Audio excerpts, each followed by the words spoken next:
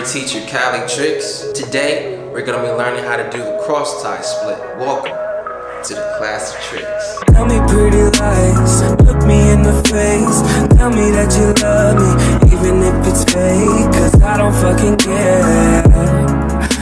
Now, for the cross tie split, there are two variations to doing the cross tie split. Working on the first cross tie variation. When going for the first variation type of cross split, what you want to do is when you get the O out, whichever dominant hand that you trick with, either left or right, cough out your O. When you get your O out, make a flat hand, and you're gonna rotate it around the O. Now, when your hand rotates around the O, your head needs to follow, okay? So it looks like this.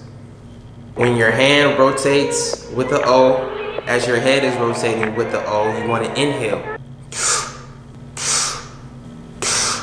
And thus creating the cross split.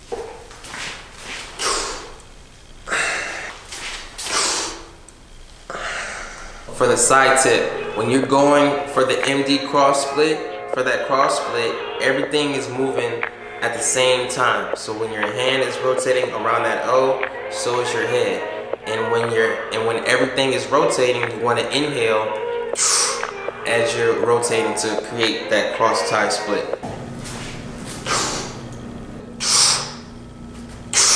The second cross tie variation is a little bit harder, but it's my favorite because it just it just looks cooler to me.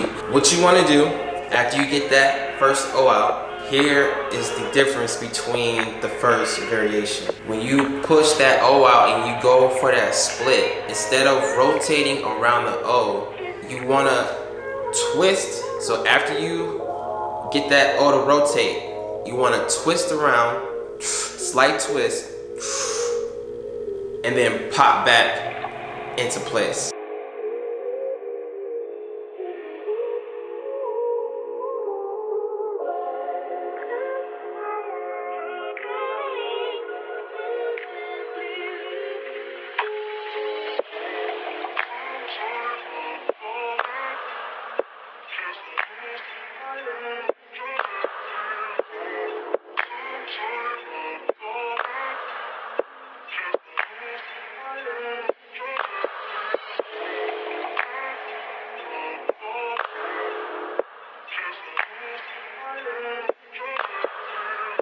It's that slight twist is what creates that cool cross tie look. Alright, so once you inhale, do that slight twist and pop back.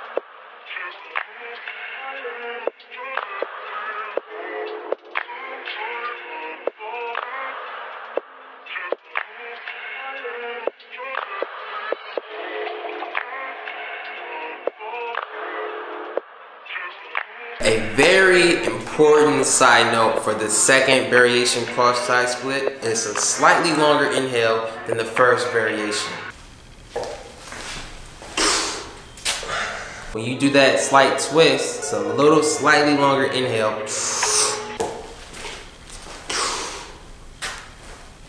And then you pop back.